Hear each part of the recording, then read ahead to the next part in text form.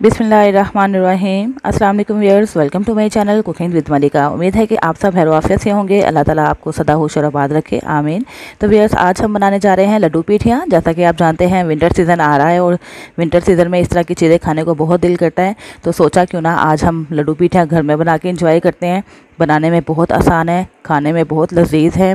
बहुत ही मज़ा आपको आने वाला है। तो व्यवर्स इस मज़ेदार सी रेसिपी को स्टार्ट करने से पहले आपसे रिक्वेस्ट है कि मेरी वीडियो को लाइक और शेयर करें और अगर आप चैनल पर नए हैं तो चैनल सब्सक्राइब करके बेल आइकन प्रेस करें ताकि आपको मेरी नई नई वीडियो की नोटिफिकेशन मिल सके, जो फ्री ऑफ़ कॉस्ट है। और साथ ही साथ व्यवर्स मैं अपने सपोर्टर्स का व्यूअर्स का यूट्यूब फैमिली का और फ्रेंड्स का बहुत बहुत शुक्रिया अदा करती हूँ, जो मुझे सपोर्ट कर रहे हैं और मुझे मोटिवेशन के लिए कमेंट्स करते हैं फीडबैक देते हैं। तो आइए फ्रेंड्स देखते हैं कि लड्डू पीठियाँ बनाने के लिए हमें किन किन चीज़ों की ज़रूरत पड़ेगी। लड्डू पीठियाँ बहुत से तरीक़ों से बनती हैं। आज मैं आपको चने की दाल से लड्डू पीठिया बनाना का तरीका बता रही हूँ। चने की दाल मैंने ले ली है तीन सौ पचास ग्राम। इसको मैंने सोक किया हुआ है दो से तीन घंटे के लिए, यानी कि भिगो के रखा हुआ है। आपने भी इसको भिगो के रखना है, क्योंकि ये दाल बिल्कुल सॉफ्ट होनी चाहिए और उसके बाद हमें खट्टा मीठा पानी भी चाहिए, जैसे कि हम बाज़ार में खाते हैं, ठेले वाले से खाते हैं तो बड़ा ही मज़ेदार ये टेस्ट आता है। उसका टेस्ट इसी पानी से डेवलप होता है।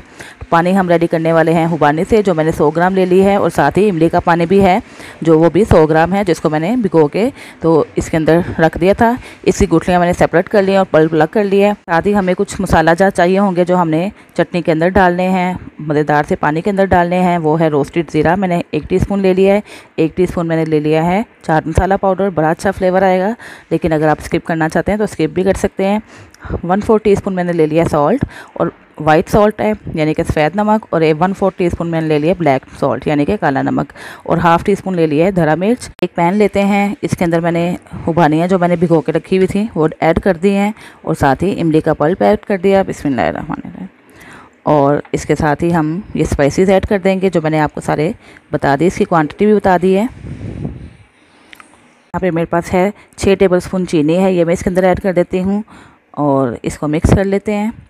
फिर अब हम इसके अंदर एक कप वाटर ऐड कर रहे हैं और चलिए अब हम इसको फ्लेम पे रखते हैं और इसको पकाते हैं। तो देखिए व्यूअर्स फ्लेम को हमने कर दिया है मीडियम पे और पैन ऊपर रख दिया अब हम इसको स्टर कर लेते हैं ताकि इसके अंदर शुगर डिज़ोल्व हो जाए और अब इसको हमने शुगर डिज़ोल्व होने के बाद तकरीबन पाँच से छः मिनट के लिए मीडियम फ्लेम पे कुक कर लेना है। व्यूअर्स लड्डू पीठे बनाने के लिए हमें मुलीर का सलाद भी रेडी करना होगा, जिसको मैंने छील लिया और अब हम इसको कद्दूकश कर लेते हैं। बिस्मिल्लाह। तो देखिए फिर सारी मूली को हमने कद्दूकश कर लिया है। तो चलिए, अब इसको एक साइड पे करते हैं और इसके लिए रायता भी रेडी कर लेते हैं। तो देखिए व्यूअर्स रायता रेडी करने के लिए मैंने ले लिया हाफ़ टी स्पून सॉल्ट थोड़ा सा मैंने धनिया और पुदीना ले लिया और दो हरी मिर्चें ले लिए इनको हम पीस लेते हैं।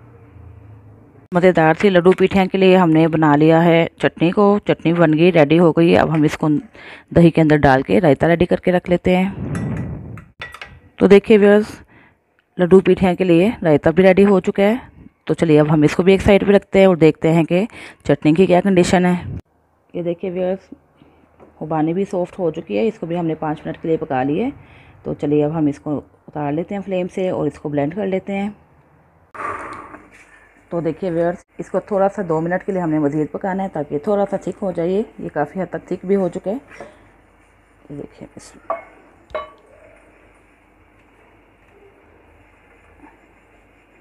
तो देखिए व्यूअर्स पैन को हमने फ्लेम पे रख दिया अब हम इसको सिर्फ़ एक से दो मिनट के लिए पकाएँगे वो चटनी तो हमारी हो चुकी है रेडी ये देखिए, इतनी ही हमें थिक चाहिए, इससे ज़्यादा हम थिक नहीं करेंगे।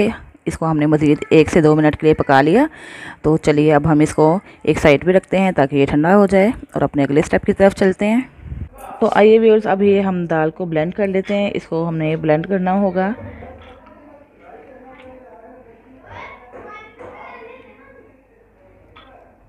हमने डाल दिया ब्लेंडर में। अभी हम थोड़ा सा वाटर इसके अंदर ऐड करेंगे और एक थिक सा बैटर हम रेडी करेंगे। बहुत ज़्यादा इसको पतला नहीं करेंगे।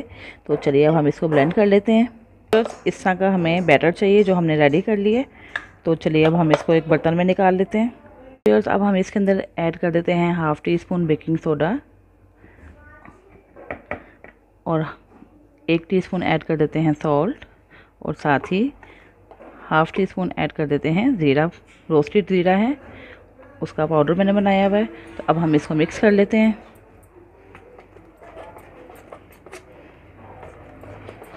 बैटर रेडी हो चुका है तो चलिए अब हम इसको फ्राई करते हैं। फ्राई करने के लिए आपने एक बर्तन लेना है, बर्तन में पानी लेना है और जिस चम्मच से आपने डालना है, उस चम्मच को पहले इसके अंदर डिप करेंगे और इसके अंदर ऐड करके तो अब हम इसको कढ़ाई में डाल देते हैं, जहाँ पे ऑयल हॉट हो चुका हुआ है। गर्म हो चुका है, अब हम इसके अंदर ऐड कर देते हैं। एक एक स्पून करके। और ये देखिए कितनी आसानी के साथ अंदर चला गया है। इस तरह आप डिप करते जाएँ स्पून को पानी में। और यहाँ से एक पकड़ लेते हैं बैटर और इसके अंदर ऐड करते जाते हैं। ये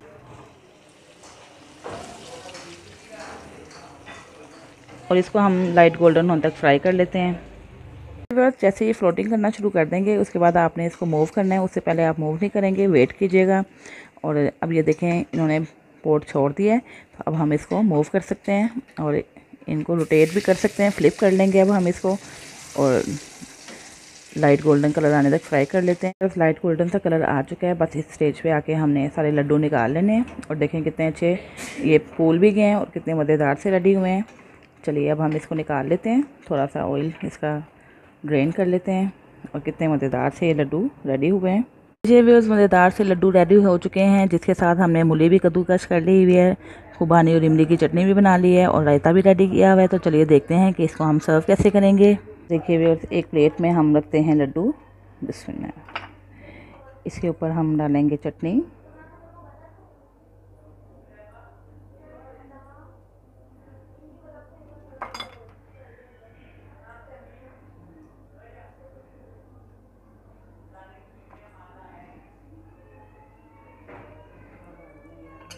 और इसके ऊपर हम डालते हैं रायता। बिस्मिल्लाह। और ये साथ मूली कद्दूकश की भी। इस तरह हमने मज़ेदार से लड्डू कर लिए हैं रेडी बहुत ही टेस्टफुल बने हैं। ज़रूर ट्राई कीजिएगा और फीडबैक भी दीजिएगा कि आपको मेरी रेसिपी कैसी लगी। है देखिए अंदर से कितने सॉफ्ट हैं और ऊपर से बिल्कुल क्रंची ज़रूर ट्राई कीजिएगा और फीडबैक भी दीजिएगा कि आपको मेरी रेसिपी कैसी लगी। इसके साथ ही इजाज़त चाहती हूँ। अपना बहुत सा ख्याल रखिएगा। मुझे भी दुआ में याद रखिएगा। अल्लाह हाफिज़।